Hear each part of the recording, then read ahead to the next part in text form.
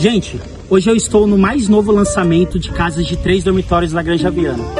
Planta totalmente exclusiva, fachada totalmente diferenciada. São casas de três dormitórios com suíte, duas ou três vagas de garagem, com lazer completo.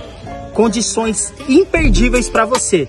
Então venha conhecer, saiba mais e eu tenho certeza que você vai amar o projeto.